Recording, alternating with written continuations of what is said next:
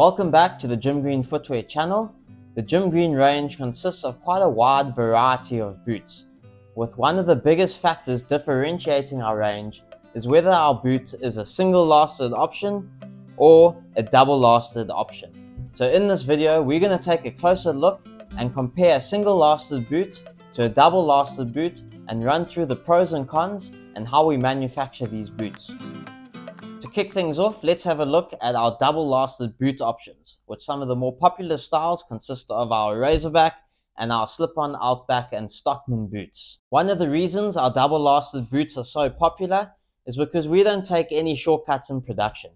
So here you can see that our double lasted boot is fully leather lined. So you have close on 4 millimeters of leather surrounding your foot. So how is this process done? Here we have a completed upper and here we have a last with a lasting board attached. And what happens is that the upper is placed onto the last and this first layer of leather is pulled over the last and tucked under and attached to the lasting board.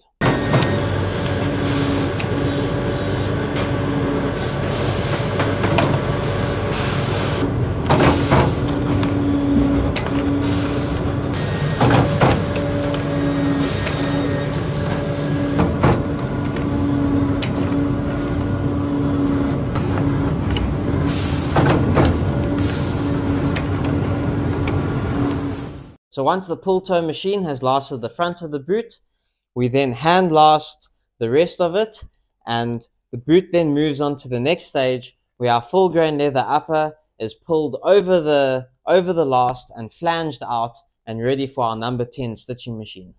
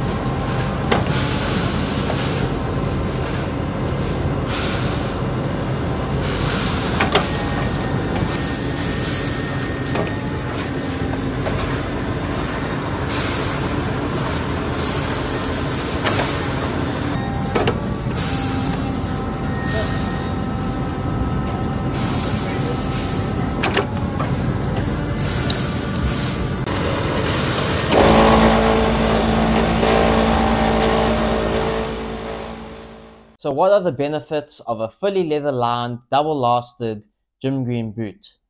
Firstly, it's the durability and protection that you get. As mentioned before, there's close on 4 millimeters of leather surrounding your foot. Secondly, being two layers of leather gives this boot water resistant properties. And with regular polishing or a little bit of beeswax, it does keep water out for a good amount of time.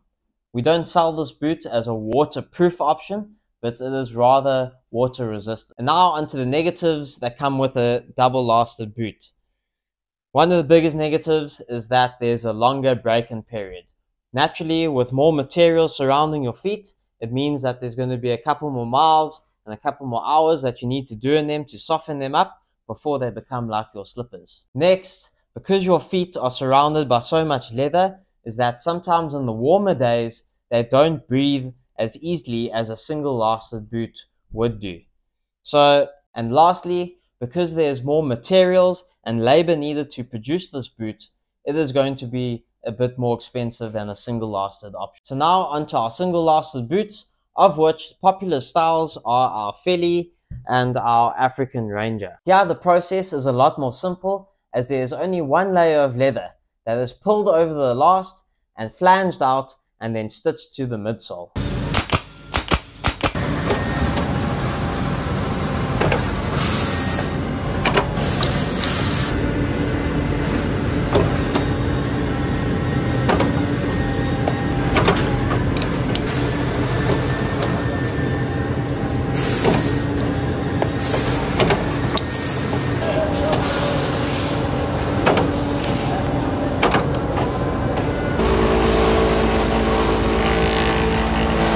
So now onto the pros of a single lasted boot. So firstly, the break-in period is a lot more shorter. Being less materials, it's easier to break them in and there's first out already a lot more flex in the boot compared to in the Razorback which is quite firm. Next, and once again being less materials, single lasted boots are a lot lighter than the double lasted boot. Being one layer of leather and lighter weight, they're also better suited for warmer conditions. Now onto the cons, and one of them being is that they are not waterproof or water resistant. So water can very easily get inside of your inside of your boot. Another con is that they are not as durable or add as much protection as a double lasted boot as they are just a single layer of leather and you don't have that calfskin lining surrounding your foot. So thanks very much for tuning in once again. I hope we've cleared up the differences between a single lasted and a double lasted boot for you. And what we're going to do is put up a little graph here showing you the pros and cons. And then down in the comment section below, please let us know your feedback on what you prefer and what type of work you're using the boots in.